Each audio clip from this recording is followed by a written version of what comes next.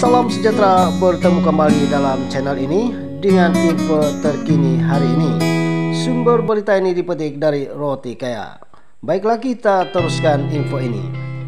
Bapak kepada pengarah kontroversi Samsul Yusuf yaitu Datuk Yusuf Haslam mengingatkan anaknya supaya tidak menyimpan dendam dan membuang ego sebaik saja melepaskan talak kepada istri pertamanya Putri Saraliana pada 18 April ini.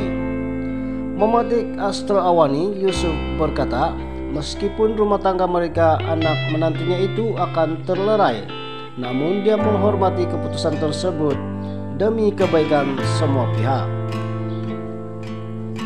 Saya doakan yang terbaik dan berharap jika perpisahan itu berlaku kelak, ia berlaku dengan baik atas alasan yang logik. Ini bukan perpisahan yang biasa, tetapi perpisahan yang meninggalkan zuriat. Jadi saya harap baik sang istri atau sang suami masing-masing tahu tanggung jawab, masing-masing kena buang ego, jangan pentingkan diri, pikir masa depan anak-anak, ujarnya.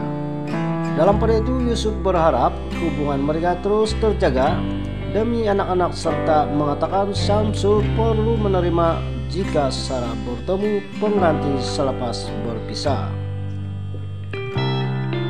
Kelak jika bekas istri ada bertemu pasangan lain, Syamsul jangan bongkak hati, jangan berdendam. Saya sangat berharap agar silaturahim antara mereka terjaga demi anak-anak katanya.